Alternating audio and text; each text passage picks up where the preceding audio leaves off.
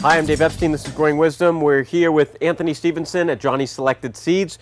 Anthony, it looks like you have a great line of cutlery that you can use in the field and for food processing. Tell me about this.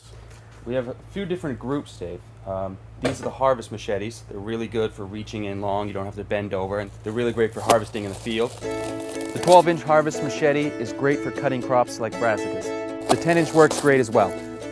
Dave, our harvest machetes can also be used to trim things in the field like this broccoli stalk.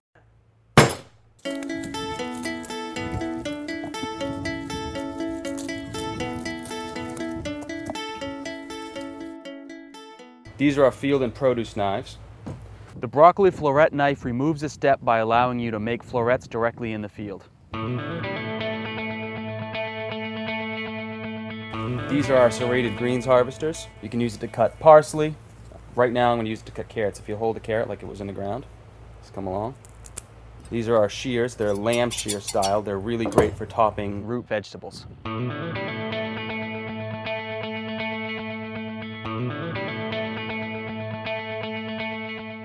These are grape and tomato cluster tools.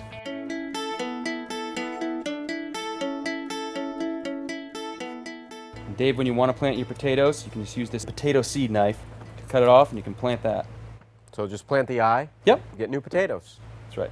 And we also offer sheaths for some of these in leather and nylon. So some great tools, snip away.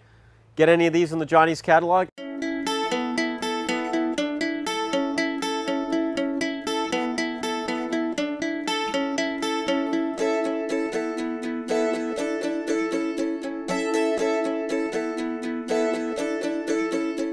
Anthony, thanks for your time.